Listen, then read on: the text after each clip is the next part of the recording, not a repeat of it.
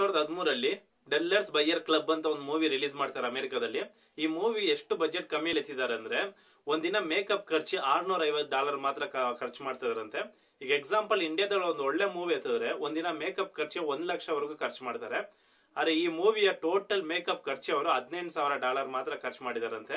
ಈ ಮೂವಿಗೆ ಆಕ್ಟ್ ಮಾಡ್ತಾ ಇದ್ದ ಎಲ್ಲ ಆಕ್ಟರ್ಸ್ ಅವ್ರ ಮನೆಯಿಂದಾನೇ ಊಟ ಕಟ್ಕೊಂಡ್ ಬಂದ್ಬಿಟ್ಟು ಊಟ ಮಾಡ್ತಾ ಇದ್ರಂತೆ ಅವ್ರ ಹತ್ರ ಕಟ್ಕೊಂಡ್ ಬಂದಿಲ್ಲ ಅಂದ್ರೆ ಈಚೆ ದುಡ್ಡು ಕೊಟ್ಬಿಟ್ಟು ಅವರೇ ಹೋಗಿ ಊಟ ಮಾಡ್ಕೊಬೇಕಂತೆ. ಇಷ್ಟೆಲ್ಲ ಕಷ್ಟಪಟ್ಟು ಈ ಮೂವಿ ಫೈನಲ್ ಆಗಿ ಅಮೆರಿಕಾದಲ್ಲಿ ರಿಲೀಸ್ ಆಗುತ್ತೆ. ಈ ಮೂವಿ ಎಷ್ಟು ಸೂಪರ್ ಹಿಟ್ ಆಗುತ್ತೆ ಅಂದ್ರೆ, ಆ ಟೈಮಲ್ಲಿ ರಿಲೀಸ್ ಆಯ್ತು ದೊಡ್ಡ ಬಜೆಟ್ ಮೂವಿ ಮತ್ತೆ ದೊಡ್ಡ ದೊಡ್ಡ ಹೀರೋಗಳು ಆಕ್ಟ್ ಮಾಡಿದ ಮೂವಿಗಳೆಲ್ಲ ಕೆಳಗಡೆ ತಳ್ಬಿಟ್ಟು ಈ ಮೂವಿ ಮೇಲ್ ಬಂದ್ಬಿಡ್ತಂತೆ. ಈ ಆರ್ನೂರ ಐವತ್ತು ರೂಪಾಯಿ ಮೇಕಪ್ ಎಷ್ಟು ಇಷ್ಟ ಆಗುತ್ತೆ ಅಂದ್ರೆ, ಆ ಮೇಕಪ್ ಗೋಸ್ಕರನೇ ಒಂದು ಆಸ್ಕರ್ ಕೊಟ್ಟಿದ್ದಾರೆ. ಆ ಮೂವಿಯಲ್ಲಿ ಆಕ್ಟ್ ಮಾಡಿದ ಸ್ವಲ್ಪ ಜನಕ್ಕೆ ಬೆಸ್ಟ್ ಆಕ್ಟರ್ ಆಸ್ಕರ್ ಅವಾರ್ಡ್ ಬೇರೆ ಕೊಟ್ಟಿದ್ದಾರೆ. ಈ ಮೂವಿಯಲ್ಲಿ ಟೋಟಲ್ ಆಗಿ ಆರು ಆಸ್ಕರ್ ಅವಾರ್ಡ್ನ ಕೊಟ್ಟಿದ್ದಾರೆ.